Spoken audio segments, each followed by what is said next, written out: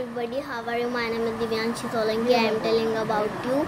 English is an indispensable part of our life.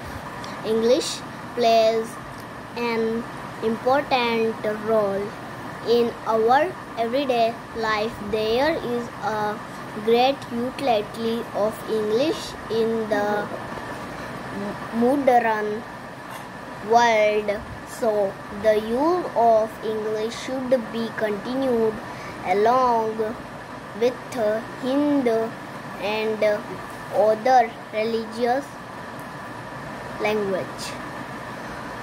Second, getting job. English is excellently for getting a good job and better, especially training. Third, impensibleness. English is used widely by the international Busin community.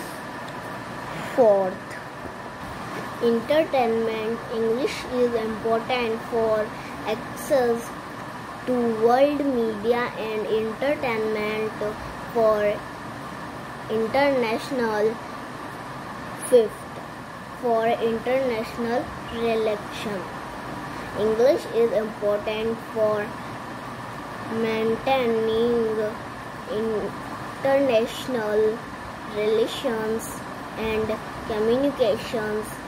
It is the language of diplomacy international polities and meeting and comedy full dance. Thank you